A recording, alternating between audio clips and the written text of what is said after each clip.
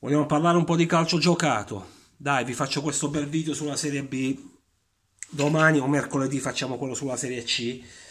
Uh, prima di perdermi in un Boca Junior Atletico Tucumán che non ho visto stanotte per ovvi motivi. Mola TV, mi raccomando, una bella TV. Uh, eh, c'è sta campionato argentino, olandese, greco, cipriota, altri sport come il rugby facciamo una marchetta per chi ama il calcio. Dai, proviamo a parlare un po' di calcio giocato, parliamo di Serie B. Allora, Frosinone sempre più a spiegate verso la Serie A, vince sul calcio di rigore contro il Benevento 1-0, Benevento in piena zona retrocessione, sottolineo già io la, la, volta scorsa dissi che non c'è un bel clima per nulla a Benevento, quindi considerate le ambizioni di inizio stagione qua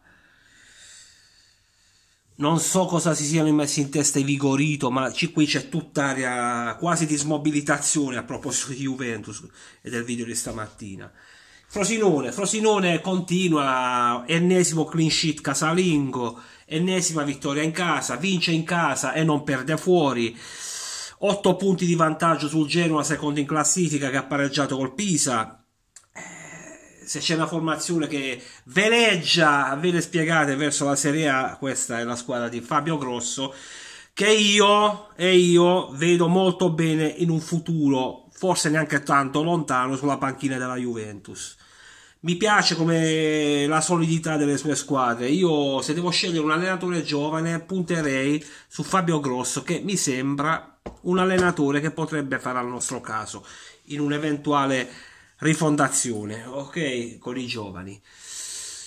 Genoa Pisa 0-0 e la Regina perde a Bolzano con la Sud Ora, la lotta per il secondo posto, che vale, ricordo, la seconda promozione diretta in Serie A, si fa sembra una, una corsa al ciapanò il Genoa che aveva che aveva trovato una certa continuità si inceppa con il Pisa in casa ridotto in 10 sullo 0-0 veramente nella zona alta della classifica nella zona playoff seconda promozione diretta si sta un po' sta un po' evolvendo la situazione. Io continuo a ritenere il Genoa come favorita per, il, per andare a far compagnia al Frosinone come, come promossa in Serie A. Mentre vedo grandissima bagarre e sta risalendo il Cagliari in zona playoff e sta risalendo il Cagliari. Occhio al Cagliari. Ranieri è forse il miglior allenatore al mondo nel prendere le squadre in corso d'opera, a campionato in corso. Forse il migliore al mondo, perché riesce a, e non è la prima volta, riesce a trasformarti una stagione. Io ricordo con la Roma, la presa che aveva zero punti in due partite e la porta a sfiorare lo scudetto. Uh, col Parma che era praticamente in Serie B e lo salva. Con uh, e tante altre robe, tante altre robe. Davvero Ranieri, quando prende le squadre in corso, i risultati li ottiene sempre. E il Cagliari, che la squadra ce l'ha e che ha un allenatore gestore, il Cagliari, onestamente, con uh, la squadra che ha, non può non, uh, non finire per lottare anche per la promozione diretta. Se il Genoa continua a fare i suoi, riprende a fare i suoi alti e bassi che aveva prima dell'arrivo di Gilardino poi c'è sta su Tirol, la regina che comincia a, mordere il freno. Ma che la regina non fosse da Serie A, è parecchio che ve lo dico o no? Su Tirol, no, come non lo è neanche la su Tirol, sta facendo un grande campionato con Bisoli. E... Suppongo si fermerà lì. Uh, Bari, capitolo Bari. Che pare dicono abbia preso Sebastiano Esposito. Ora Bari. Il Bari è una, una società ambiziosa. Non so se punterà con convinzione alla Serie A già quest'anno. Io penso che dal prossimo anno, dal prossimo anno perché i De Laurenti sono bravissimi nel, nel pianificare le robe, io so che per me stanno gettando le basi per un grande campionato il prossimo anno. Il prossimo anno, secondo me, il Bari sarà la grande favorita per, per salire in A. Quest'anno ci sono squadre più esperte, squadre più continue. Eh, ecco, il Bari sta cadendo nella sindrome Parma.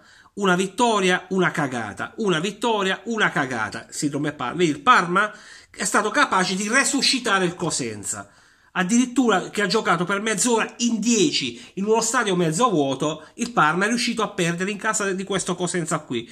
Ha preso una traversa che sta ancora tremando, però se tu hai ambizioni a Cosenza devi andare a vincere. Cosenza che non vinceva da una vita. Addirittura dove tal Cortinovis entra e in due o tre minuti si becca due gialli e, becca l'espulsione. Cioè, quando il Parma riesce a perdere con un avversario in simili condizioni, ultimo in classifica, col pubblico in contestazione, la società che non lo so, eh, è un po' nel mirino. Quando tu mi riesci a perdere in quelle condizioni là, raga, eh, allora eh, sei tu che non ci vuoi andare in A. Ma il Parma non ha la squadra per andare direttamente in A, magari ti fa l'exploit in, nei playoff, ma non ha la squadra per andare direttamente, è troppo discontinua, troppo discontinua. E anche il Pisa aveva fatto una bellissima rimonta prima della sosta e adesso è, si è di nuovo arenata mentre sta salendo e io ve l'avevo detto, e io ve l'avevo detto, e io ve l'avevo detto, il Palermo. Il Palermo, ve l'avevo detto che sarebbe che sarebbe arrivato in zona playoff il Palermo. Ve l'avevo detto più a inizio campionato, quando era nei bassi fondi della classifica, ve lo dicevo io, ragazzi. Occhio al Palermo, occhio al Palermo. E ora sta salendo. E questo ci dice come questo è un ennesimo campionato fantastico di Serie B, che veramente ti concilia con tutta la merda che stiamo vedendo in Serie A, ti riconcilia con il calcio, con tutta la merda stiamo, alla quale stiamo assistendo in Serie A veramente. E, e poi c'è. Parlando delle posizioni, nel limbo sta risalendo il Como, ma è inevitabile che il Como risalisse. Il Como, secondo me, ha rispetto al suo potenziale ha almeno 6, 7, 8 punti in meno di quelli che dovrebbe avere perché eh, è una squadra con dei valori, è una squadra con dei giocatori importanti. E ha vinto a Brescia, era derby, all'andata ci aveva perso in casa. Cioè, poi la Serie B è un campionato dove, ve l'ho, ve l'ho sempre detto, alla lunga i valori vengono fuori. La Serie B non è la Serie A, che, dove magari una grande ti incappa in una stagione balorda come il nostro caso. Uh, la Serie B, in Serie B, se sei forte, prima o poi vieni fuori. Perché è una maratona. È una maratona la Serie B. È così, è così. In Serie B devi lottare punto a punto. E se sei una squadra di categoria con l'allenatore giusto, prima o poi vieni fuori. Il Como ha, ha grosse ambizioni e ma non sarà evidentemente per quest'anno perché ha troppe, troppi alti e bassi. Ora, anche se in questo girone di ritorno si sta bene o male stabilizzando. Discorso del Como, io ho già parlato del Benevento prima, che introduce il discorso sulla zona salvezza. Vi dissi del Brescia che è in caduta libera. Il Brescia di questo passo finisce dritto in Serie C. Il Brescia di questo passo finisce dritto in Serie C. E l'altra che deve stare attenta è l'Ascoli L'altra che deve stare attenta è l'Ascoli, signori. È l'Ascoli. Il Brescia è in caduta libera oramai. L'Ascoli qualche valore ce l'ha, anche se con la sconfitta col Palermo le cose si complicano e non poco. Eh sì, signori. Eh, così. Anche perché ad oggi non, non è come lo scorso anno dove avevi già due o tre squadre staccate negli ultimi posti, anche se il Vicenza ti fa il miracolo che ti arriva al play-out. Ma grazie più che altro al suicidio dell'Alessandria l'anno scorso. Uh, ti arriva al play-out il Vicenza. Non è come l'anno scorso che avevi Pordenone e non ricordo chi altri che praticamente a metà campionato era già retrocessa. Quest'anno vedi il Cosenza che ti batte il Parma, vedi il Cittadella che comunque ti fa risultato a Venezia, che è messo male il Venezia. Però il Venezia è un'altra di quelle squadre che ha quegli strappi che magari che ti vince quelle due partite di fila e rientra in lotta. Il Perugia, il Perugia, il Perugia. Il Perugia è tra le, tra le squadre più, più, scarse della Serie B, ma, ma un allenatore di categoria che ti viene a vincere a Bari meritatamente. Meritatamente. Perché il Perugia a Bari ha fatto una grandissima partita. Quindi, ed è prepotentemente rientrato. Vedete cosa fa un allenatore in Serie B, un allenatore esperto. E non questi arzigogoli che cerchiamo nel calcio moderno. Vedete cosa ti fa un allenatore esperto. Ti, ti, ti cava da una squadra, ti cava da una squadra quello che è un allenatore emergente. Se non ha la giusta sintonia con il gruppo, non, non riesce mai e poi mai a cavarti. Vedete? E Castori è l'uomo adatto per provare a riuscire a salvare il Perugia. E con, signori, con un Brescia in caduta libera, con un Benevento che è messo come è messo.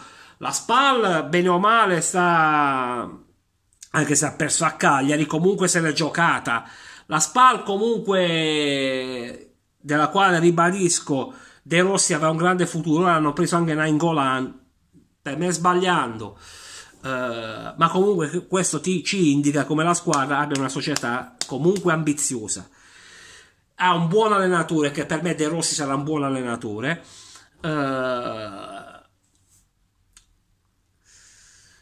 con, stavo dicendo, riferito al Perugia, con squadre come il Venezia, con squadre come il Cittadella, con squadre come il Cosenza, con il Brescia che è in caduta libera, l'Ascoli che è in crisi, l'Ascoli che è in crisi certo che può puntare a salvarsi il Perugia. Il Perugia, signori, era, io per primo lo davo per spacciato.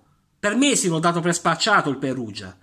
Ora invece è tutto rimescolato per una Serie B che Frosinone a parte, Frosinone a parte che ha fatto della regolarità, della solidità il suo marchio di fabbrica, e se resta questo il prossimo anno è la volta buona che si salva in, in Serie A Frosinone a parte, eh, la B, la Serie B è un campionato bellissimo come quello dell'anno scorso e io vi invito a iscrivervi al canale, a seguire questi video perché sono altrettanto importanti. Ci sentiamo domani o dopodomani per la Serie C. Io mi spacco Boca, Boca Junior Atletico Tucumán. Iscrivetevi al canale.